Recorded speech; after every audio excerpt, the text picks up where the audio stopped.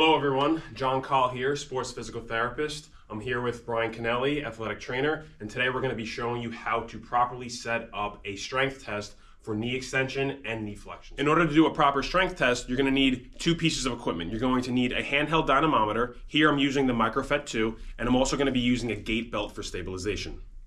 In order to get a good quality, valuable strength test, there's a few criteria that you need to nail down.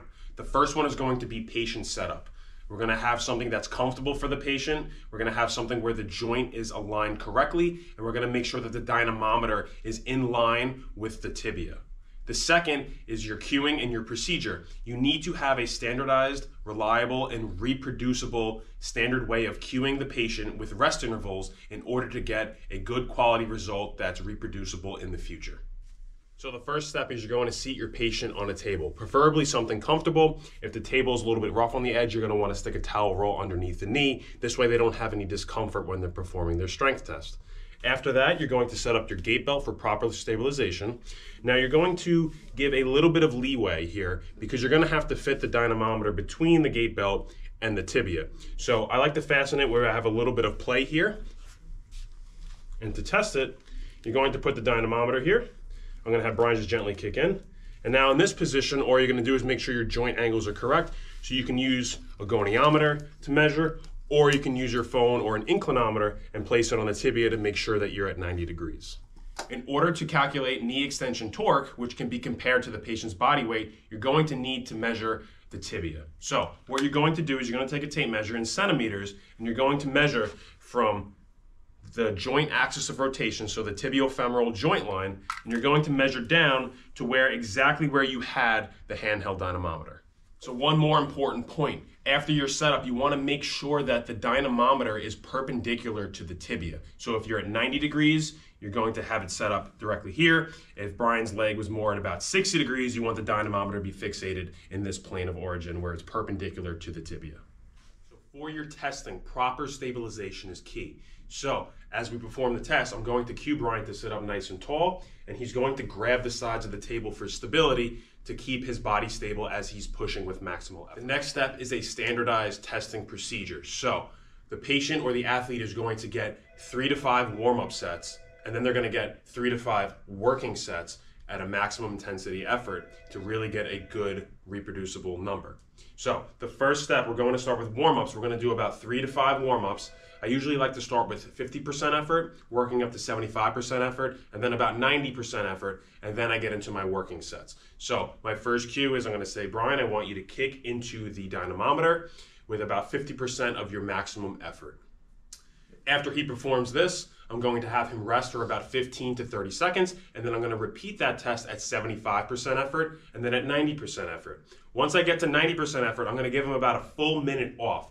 Then we're going to get into our working testing. Once procedures. we get into our testing trials, I'm going to give him about three to five testing trials with full rest in between sets. So what does this mean? You're going to rest for at least a minute to make sure that every single trial that is performed is going to be at maximal effort where we're not accumulating fatigue over those trials.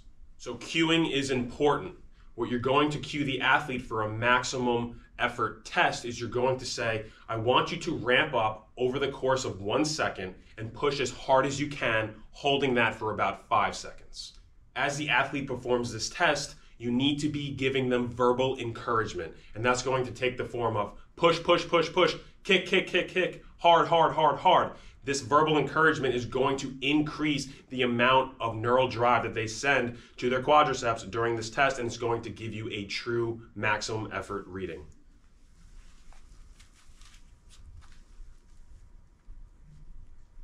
So you're going to push as hard as you can, ramp up over the course of one second, and hold that for five seconds.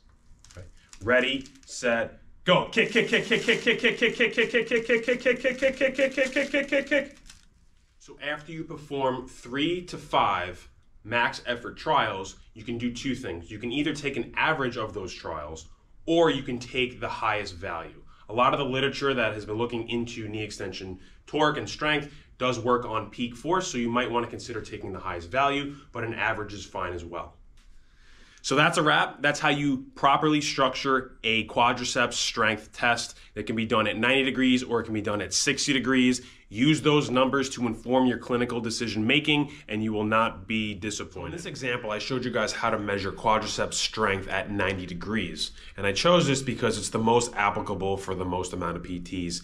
It's very easy to set up whether you're using a plyometric box or the side of a plinth, um, and it's usually pretty comfortable for the patient. However, you can measure quadriceps strength at 60 degrees, and this is going to give you probably a slightly higher reading on the force output because of the length tension relationship. So if you're doing it at 60 degrees, make sure you follow the same standardized procedure and the setup. However, the only thing that will differ will make sure that the handheld dynamometer is in line in a perpendicular axis to the tibia this way you're getting a good reading.